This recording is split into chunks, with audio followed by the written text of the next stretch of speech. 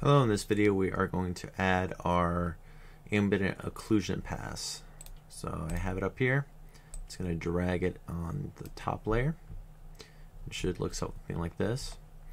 And it's pretty simple. You just we want the shadows to be on it, and those are dark. And so we want to use multiply.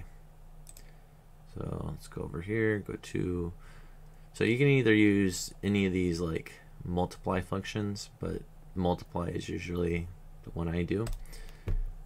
And you'll see now I have this effect underneath these areas.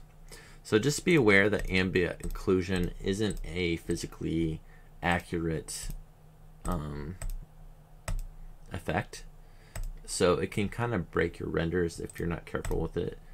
Um, it's useful to kind of push details if you need like shadows. So like right here, this is really nice in this area, but I don't really like it too much in these areas.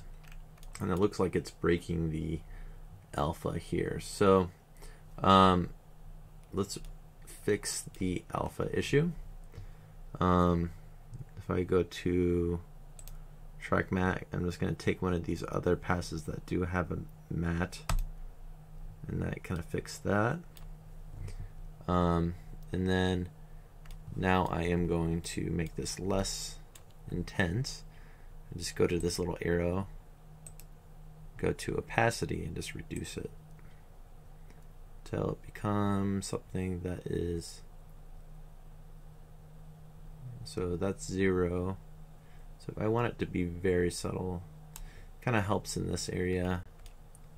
And you can always use shapes and things like that to mask out areas like if you don't like it in this area versus this um, you can also try to do things with Cryptomattes but that's usually based off um, either material geometry um, that kind of thing. So usually I, I think the issue is the ground so I'm not sure and that's all, that's all sharing the same kind of thing. So you'd probably have to mask it out using a shape all right, and then um, we need to rename this.